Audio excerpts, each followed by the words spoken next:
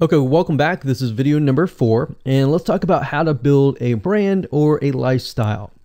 So, now that you understand why you need to inspire people by building a brand attached to a lifestyle, let's discuss how you can actually do this in the real world. All right.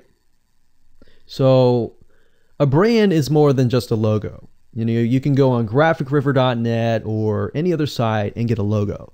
That's not a brand. All right. I want you to understand that because I, I feel like a lot of people get confused. They feel like, okay, I'm going to get a logo, I'm going to get, get a website, and they set it up, and that's it. It's more than that. All right. So I want to make sure that we get in the right mindset. You're going to be able to succeed in all that. So it's an attachment or an identity. That's what a brand is. And the lifestyle itself just helps kind of build and grow the brand. Now, you might be thinking, well, what if I don't have that lifestyle? Well, just wait a minute and I'll talk about that in just a minute. All right. So try to figure out, as of now, what sort of identity you want to create as part of that brand. And then figure out what people want to be like, what they aspire to be, and all that. Right? Because our society has changed to the point where people want to find their identity.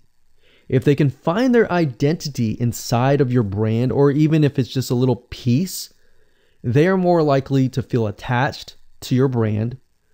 And then they're more likely to follow you. They're more likely to buy from you because they feel like they found a piece of their identity through you.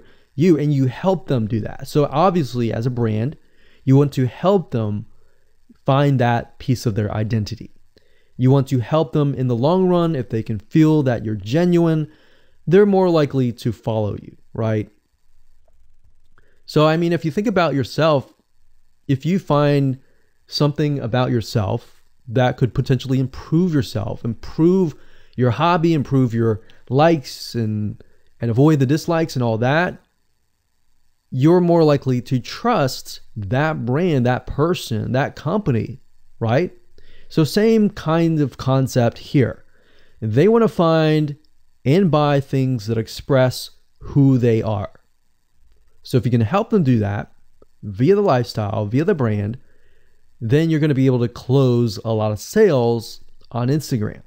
So, in our last example, as a scuba diver, what we can do is you might want to attract, let's say, newbie scuba divers or expert scuba divers. So, these are very, very very different audiences. But it's crucial to know that ahead of time because expert scuba divers might want a certain thing. And then, of course, newbie scuba divers might want a certain thing as well. So, in other words, knowing who your audience is is very, very important. So, uh, think of your own business, what you're trying to sell, and build a lifestyle around that. And think about you know, what you're wearing, you know, what you buy, the software tools you you're buying, the uh, the physical goods you're buying, the ebooks, the uh, educational material that you're buying. Just think of everything as part of that lifestyle. All right. So it really, what this allows you to do is it really allows you to expand potentially your profit margin. So instead of selling just one thing, you could be selling many different things that surround that particular product. Now, once you've gotten to this point, then it's time to think of a logo, all right? And you can easily get this off of graphicriver.net or you can go to upwork.com, that's U P W O R K.com, and you can find a graphic designer, a logo creator designer, and get one created for you. Now, when you create a logo, you want to specifically choose something that relates to your niche. So, a scuba diver attracting newbie scuba divers, uh, you could find know, a scuba diver logo and name it something that would attract your audience. So, so newbie scuba divers are obviously going to want to learn from expert scuba divers, and of course, the same thing. So they might be attracted to a certain element, but they're still going to have a very different mindset, right? Newbie scuba divers, they might, might be more likely to buy pretty much everything. Uh, expert scuba divers may be more reluctant, right? Or more skeptical. So that's just something to think about as you begin to build your brand. So, a quick recap here make sure to create an identity and be ready to inspire. All right.